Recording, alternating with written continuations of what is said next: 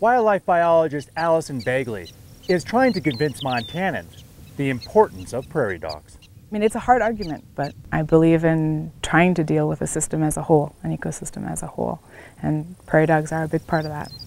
A lot of people don't like prairie dogs for various reasons, but they're actually an important component to Montana's ecosystem. Prairie dogs are very important ecosystem engineers, for lack of a better description. The digging activity that they do, it impacts the soil around them, but it also impacts the plant species composition, and uh, it creates a, a different habitat that other species use.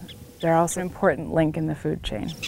Montana has two types of prairie dogs, the blacktail and the less common whitetail. Both species have seen their numbers decline over the years, which has some groups calling for them to be put on the endangered species list. The reason that Fish, Wildlife and Parks puts the effort that we put into prairie dog conservation is in the interest of protecting the species from being listed. If the species became listed, we'd be looking at a lot of hindering of regular everyday Montana activities. While prairie dog conservation will continue to challenge her, Allison knows it's important to maintain all of Montana's wildlife. Eliminating something because we think it's not important will ultimately end up in us finding out how important it actually is. Winston Greeley, out among Montana's fish, wildlife, and parks.